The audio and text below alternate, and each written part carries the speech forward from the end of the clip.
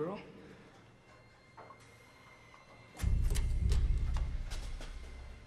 Oh, don't! Are you a little girl? Oh! That's why he won't go swimming. He doesn't want everyone to see what a little fucking girl he is.